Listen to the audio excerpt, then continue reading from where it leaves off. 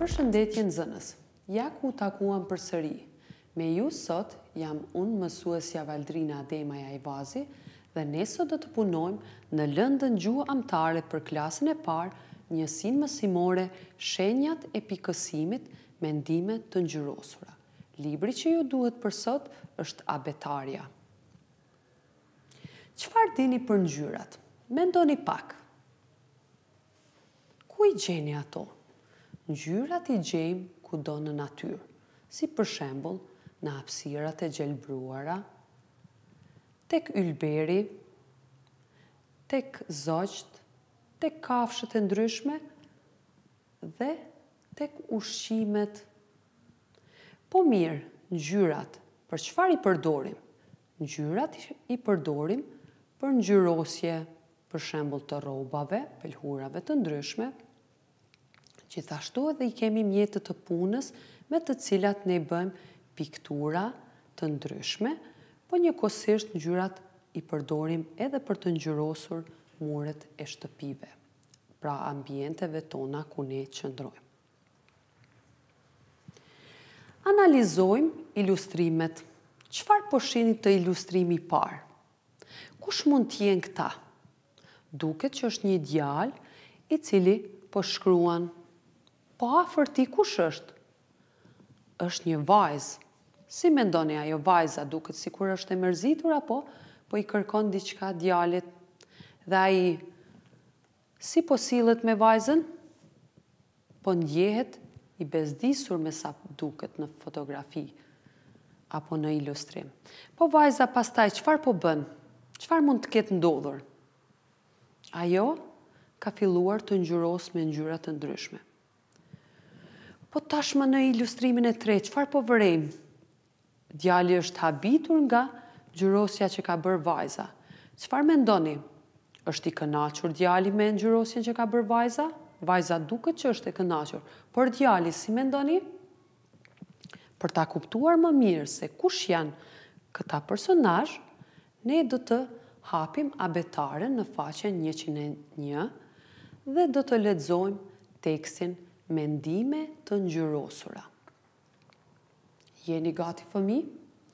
Le të vazhdojmë leximin. Mendime të ngjyrosura. Tiku po bën detyrat. Çfarë po bën?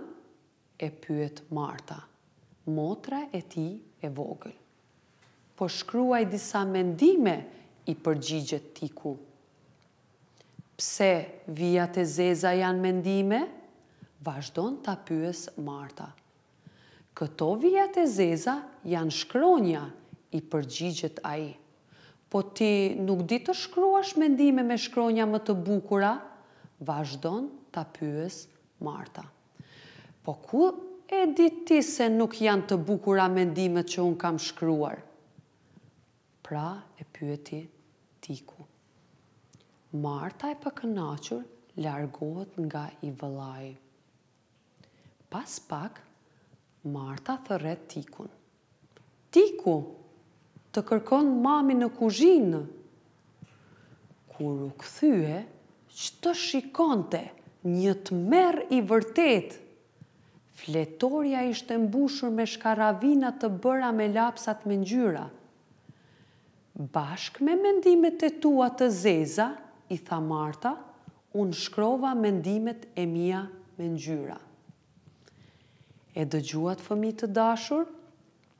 I kuptuat se kush ishin personazhet për të cilat ne folëm më herët? Pra, bëhet fjalë për Tikun dhe Martën. Tiku dhe Marta janë vëlla e motër. Dhe çfarë kuptuam? Që Marta nuk ishte kënaqur me mendimet e Tikut. Ajo donte që ato të ishin me ngjyra.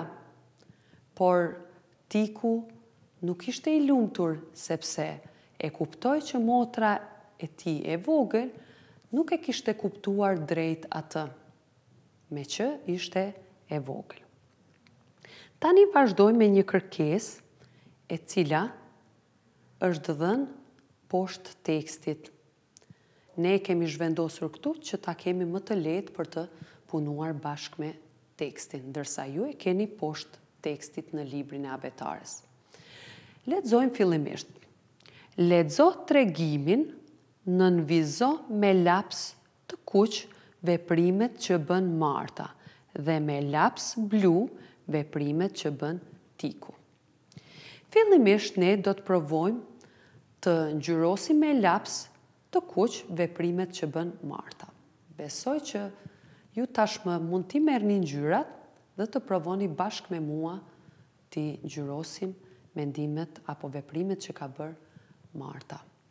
Jeni gati fëmijë? Le të provojmë t'i gjejmë ato dhe t'i nënvizojmë. Çfarë po bën? Në këtë rast, Marta ka parashtruar një pyetje. Pse vijat e zeza janë mendime? Prapë vazhdon ta pyeste Marta. Po ti nuk di të shkruash mendime me shkronja më të bukura? Përsëri ka bërë një pyetje. Marta e pakënaqur largohet nga i vëllai. Në këtë rast po tregohet një veprim i Martës. Pas pak Marta thërret Tikun. Prapë tregohet se çfarë ka bërë Marta. Tiku, të kërkon mami në kuzhinë! Pra ajo po i referohet, po i drejtohet tashmë Tikut dhe po i kërkon që ai të ikë në kuzhinë. Po a kemi edhe fjalë të tjera të cilat Marta i ka thënë? Sigurisht që kemi. Pra veprimet e Martës ishin edhe këto. Ajo është përgjigjur duke thënë, bashkë me mendimet e tua të zeza, Unë shkrova mendimet e mia me ngjyra. Pra, këto ishin veprimet të cilat janë paraqitur në tekst dhe janë veprime që i ka bërë Marta. Në kërkesë kishim që të bënim me laps blu, pra me ngjyrë të kaltërt, veprimet që bën Tiku. Le të provojmë t'i gjejmë ato. Në këtë rast po tregohet veprimin që po bën Tiku. Tiku po bën detyrat, domethënë po përshkruhet një veprim që ai po bën. Po shkruaj disa mendime. Në këtë rast po përgjigjet Tiku në pyetjen që i bëri Marta. Këto janë vijat e zeza janë shkronja, i përgjigjet ai. Prapë kemi një përgjigje të pyetjes më herët që është bërë. Po ku e di ti se nuk janë të bukura mendimet që unë kam shkruar? Në këtë rast Tiku ka bërë një pyetje. Pra këto ishin disa nga veprimet të cilat Tiku kishte bërë dhe i ngjyrosen po njëlloj me ngjyrë të kaltërt apo thënë ndryshe blu. Vazhdojmë tashmë te kërkesa tjetër. Gjej në tekst pyetjet që bën Marta, gjej në tekst përgjigjet që jep Tiku. Tash do të mundohemi duke përdorë një shigjetë t'i dallojmë ato të cilat Domethënë pyetje i ka parashtruar Marta dhe përgjigjet që Tiku dha për këto pyetje. Ja ku e kemi një pyetje, çfarë po bën? Pse vijat e zeza janë mendime? Po ti nuk di të shkruash mendime me shkronja më të bukura?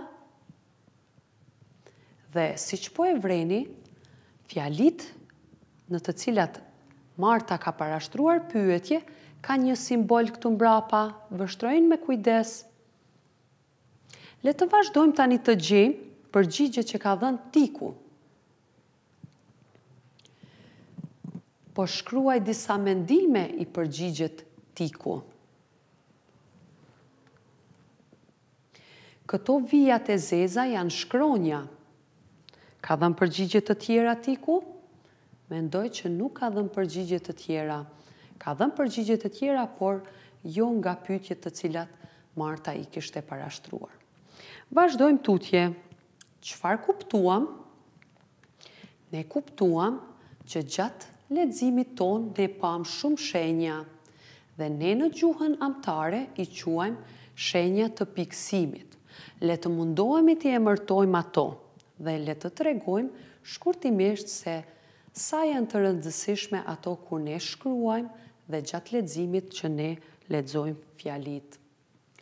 Kjo është një pikë. Dhe zakonisht vendoset në ato fjali kur ne i shkruajmë, me të cilat shprehim një mendim, një veprim apo japim një përgjigje.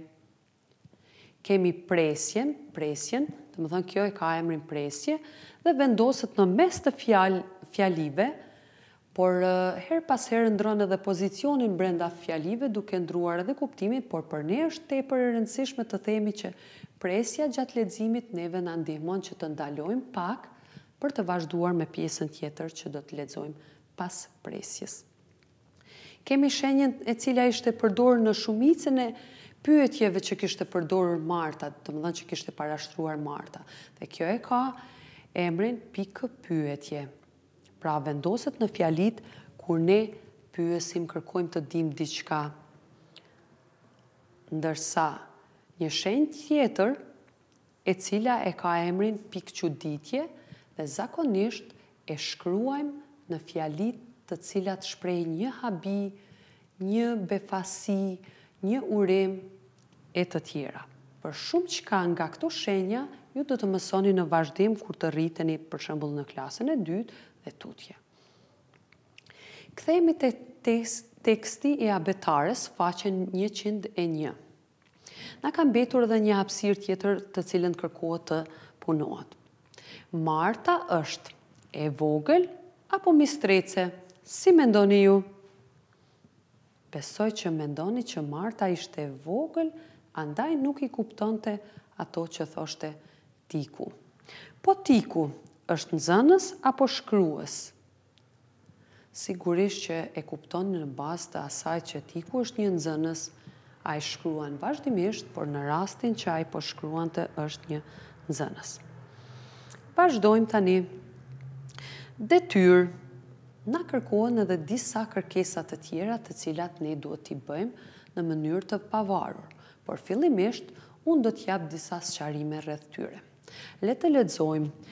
Gjej në tekst Fjalitë që mbarojnë me pikëpyetje, pra, dhe me pikëçuditje, ju do ta keni fare të lehtë për t'i gjetur sepse në fund të tyre do të shikoni shenjën e pikësimit.